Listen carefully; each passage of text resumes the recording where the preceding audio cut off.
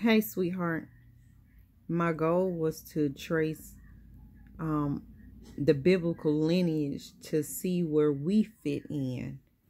Um, because every nation, nationality of people is actually in the Bible. You just have to um, learn their biblical um, names. So that was my goal, was to show you who we are according to the Bible. So first we're going to talk about Noah. Um, we all know the story of Noah about the flood and um, how it was only eight of them saved through the flood.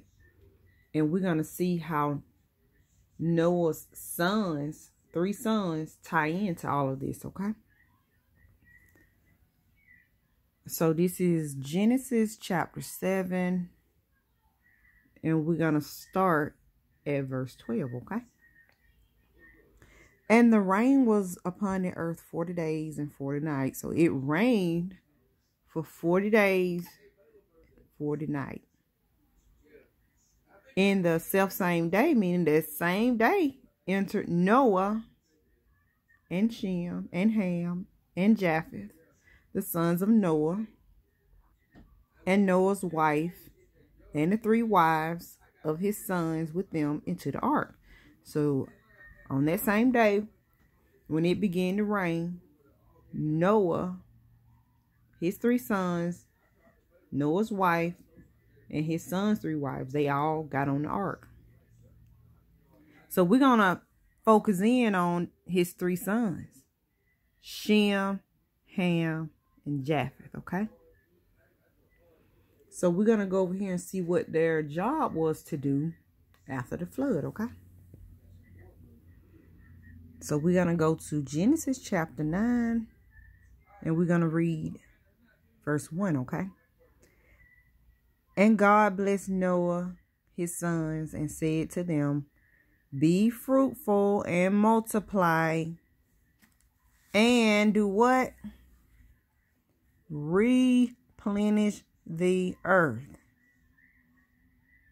So that was the job of Noah's sons to be fruitful, multiply, to replenish the earth.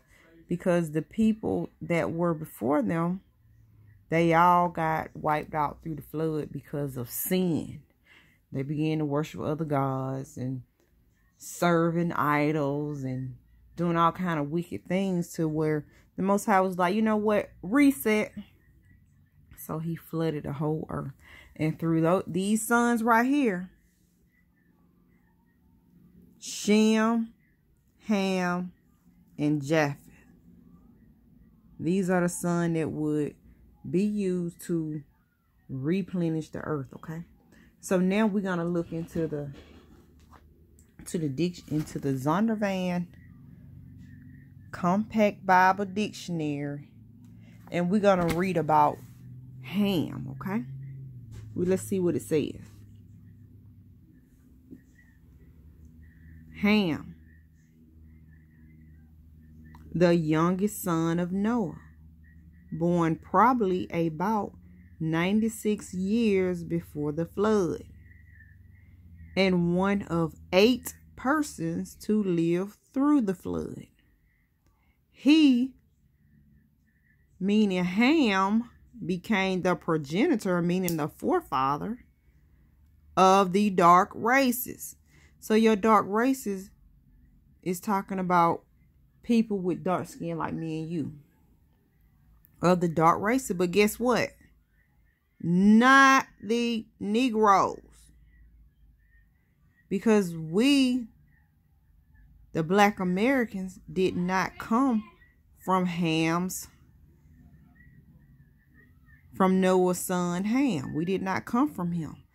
So this let us know that just because you have dark skin doesn't mean that all black people are the same.